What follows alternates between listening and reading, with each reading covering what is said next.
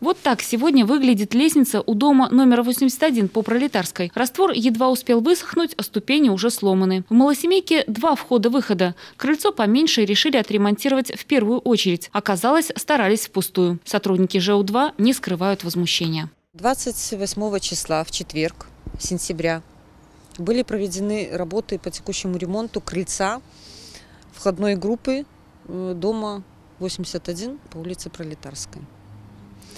Ремонт произвели, пришли 29 числа утром на работу.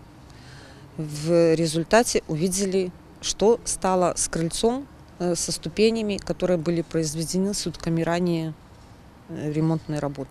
Потрачены силы, средства и время. Теперь можно начинать все сначала. Валентина Наталенко делала все своими руками. Таскала цемент и песок, мешала раствор. Говорит, что когда пришла на следующее утро, готова была расплакаться от увиденного. Мы сделали ступеньки в четверг, и в пятницу я утром зашла посмотреть, они уже были смешаны. Просто вот так вот, как кто-то помешал. Не помогло ограждение и запертая дверь. Лестницы попросту не дали высохнуть. Сегодня рабочие приступили к ремонту главного входа. Крыльцо приводят в порядок. Правда, настроение уже испорчено. Женщины боятся, что эту лестницу может ожидать та же участь. Но на случай вандализма закрывать глаза не собираются. Сотрудники ЖУ-2 обратились с заявлением в милицию. Лидия Поттер, Вячеслав Переписнов, телеканал «Мозырь».